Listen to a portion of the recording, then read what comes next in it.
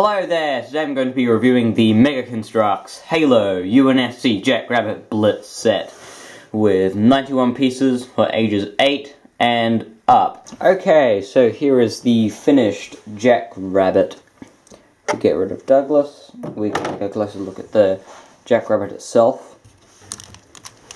It's got two wheels at the front, one at the back. Got a machine gun slash grenade launcher. I'm not sure whether it's meant to be both or just one of them, but it looks like the top part's a machine gun, the bottom part's a grenade launcher in my eyes.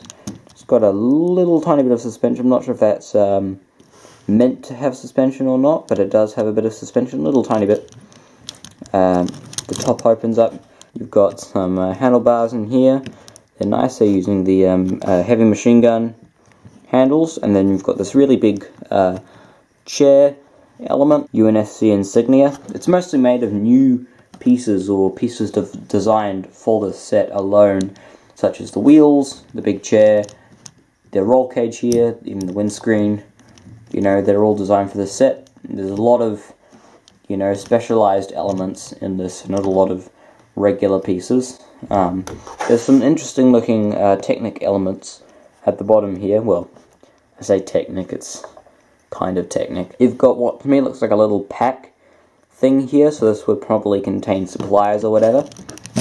And then here we've got a couple of clips, so you can get um, a Magnum. The set comes with two two Magnums, nothing special, it's just the um, regular design of Magnum. And what you can do is you can get the Magnum, and then you can just clip it on to the Jackrabbit like so and then you've got two and you get two magnums so you can clip both on at the same time.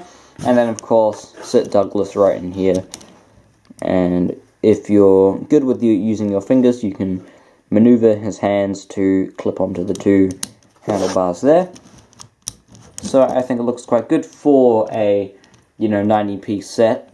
It looks quite nice.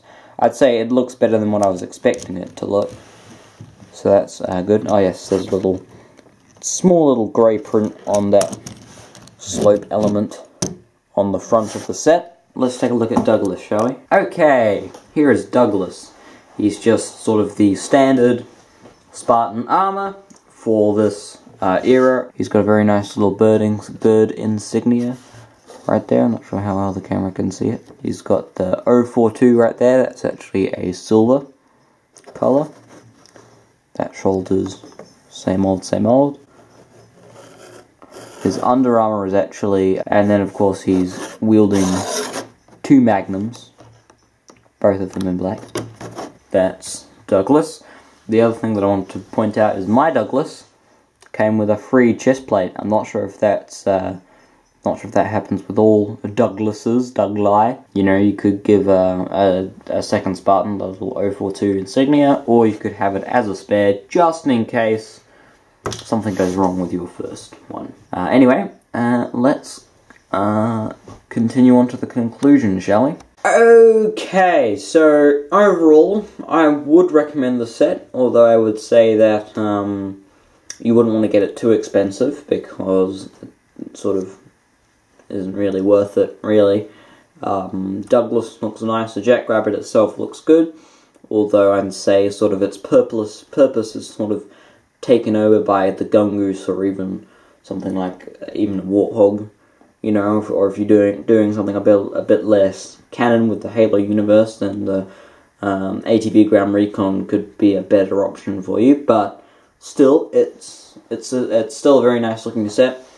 Um, the other thing that I would say is um, there's not that much building that goes on, even for a small set. It doesn't feel like you're uh, assembling much. Um, I'd say the Banished Ghost is, feels like you're building something a bit more, even though it's got about the same part count. It still feels like you're doing a bit more building because the Jackrabbit just doesn't have, you know, so many basic elements. It's a, it's got a lot more sort of prefabricated parts, as I've said before which is fine, but it just means that the build is uh, a little bit... But other than that, I'd say it's a good option. And that about concludes the video. Thanks for watching, and I will see you later.